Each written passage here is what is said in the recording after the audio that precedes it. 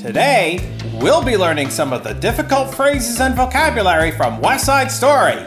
Make sure you stay till the end to find out what a heater actually means. Welcome to English Stripped Bare.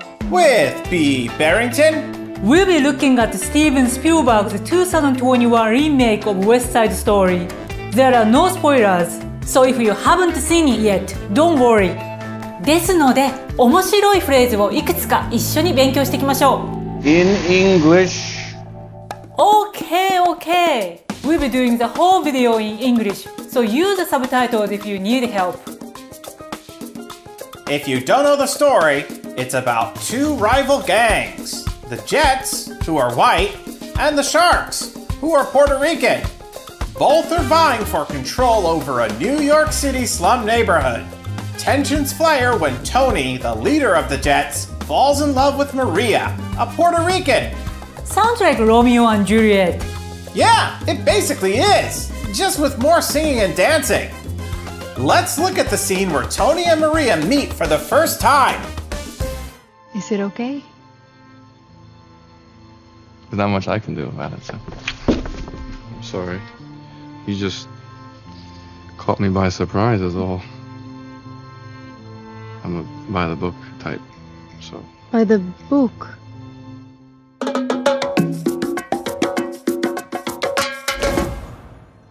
I'm a by the book type, so. By the book.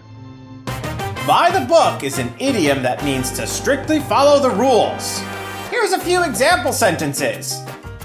My boss is always careful to do things by the book. She does everything by the book. Okay, I understand the meaning of the phrase, but I still don't know what Tony is talking about. How is he by the book? The story is set in 1957, and at that time it wasn't really proper for a girl to kiss a boy first.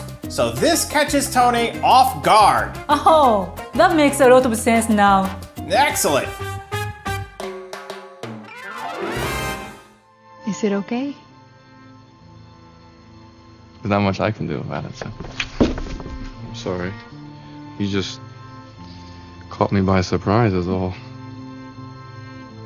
I'm a by the book type, so. By the book. Let's take a look at the scene where Lieutenant Schrank lectures the Jets. We'll be breaking it into two parts. Your dads or your granddads stayed put, drinking and knocking up some local piece who gave birth to you. Your dads or your granddads stayed put. Okay, we have a few interesting phrases to look at. First, to stay put means to remain somewhere without moving. I need you to stay put in case they come back here. We need to stay put until it's safe. Good. Drinking and knocking up some local piece who gave birth to you. The next phrase is to knock up. This is a vulgar way to say make pregnant.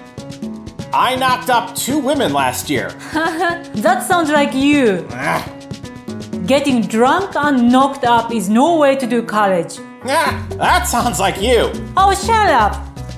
Okay, the last word we'll look at from this part is piece. This is a slang term that has a few different meanings, but here it's being used to mean a sexual partner. It's most often used to describe a woman, but it can be used for men as well.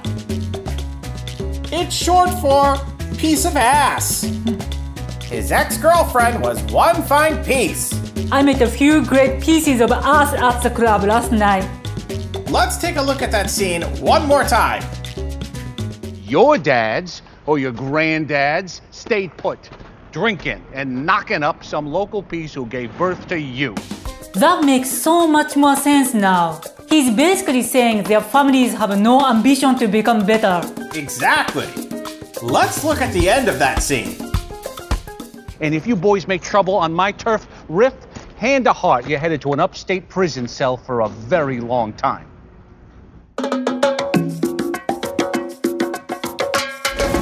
And if you boys make trouble on my turf, Riff, hand to heart, Turf is a slang term that means land that someone has authority over. Lieutenant Schrank is telling the Jets that he controls their gang area. If you don't want trouble, stay off my turf. I'm claiming all this stuff for me. The next phrase Lieutenant Schrank says is hand to heart. This means to swear something or to be completely truthful. Oftentimes, when we make pledges, we put our hand over our heart. This goes all the way back to Roman times.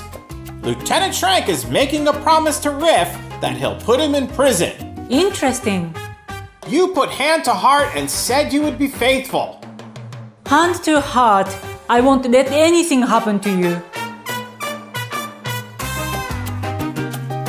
And if you boys make trouble on my turf, Riff, hand to heart, you're headed to an upstate prison cell for a very long time.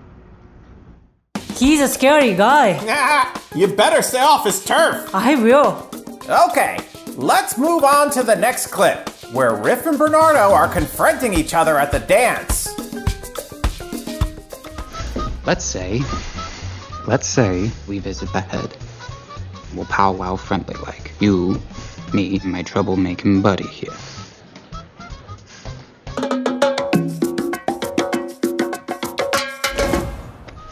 Let's say, let's say we visit the head. We'll powwow friendly like. The head is a slang term for the bathroom, which is usually used by men. Women don't use it? They can, but they don't call the ladies' room the head. I see. I need to hit the head. All the guys are in the head right now. The next word, powwow, means a meeting. It comes from the Algonquin Native American language. Whoa, really? That's cool. Yeah. Let's have a powwow tonight to discuss our plans. I had a powwow with my boss yesterday. Perfect. Okay, so in the scene, Riff is saying they'll meet in the bathroom to talk, but not fight. Exactly.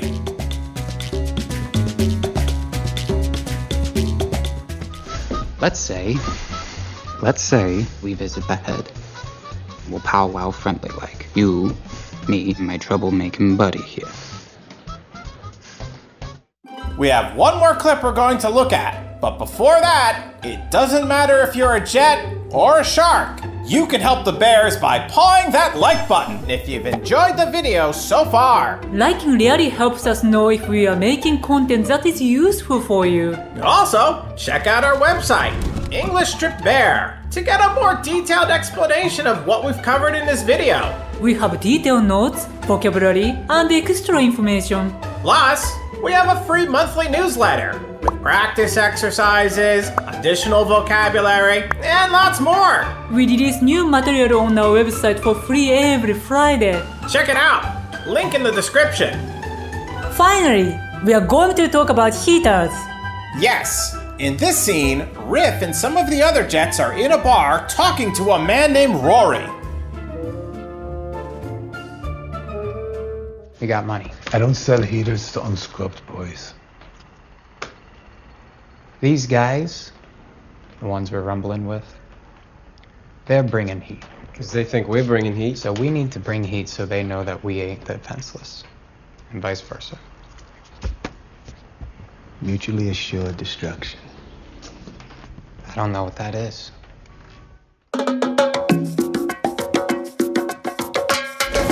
We got money. I don't sell heaters to unscrubbed boys. A heater is a slang term for a gun.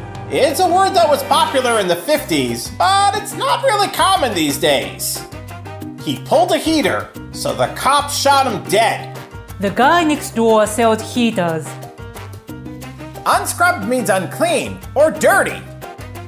The usage here is really uncommon. Rory, the man selling the gun, is using unscrubbed to mean Riff is not trusted. Perhaps he feels Riff's reputation is bad, or maybe he just doesn't know Riff well enough to sell him a gun. Okay, so people don't go around calling other people unscrubbed? This is the first I've heard it. Okay, These guys, the ones we're rumbling with, they're bringing heat. Because they think we're bringing heat. So we need to bring heat so they know that we ain't the defenseless. And vice versa. Heat is another slang term that means gun or guns. Don't bring heat to my party. I'm packing heat. Next, we have vice versa. This means in the reverse order. It's basically saying the same is true for the other side. I want to marry her and vice versa. I hate my new boss and vice versa. Mutually assured destruction. I don't know what that is. Lastly, we have mutually assured destruction. The principle that an attack would provoke a response that would destroy everybody. The arms race is built on the idea of mutually assured destruction. We won't attack Russia for fear of mutually assured destruction. Great, you got it. So Riff wants to buy a gun so he doesn't have to use it? Exactly.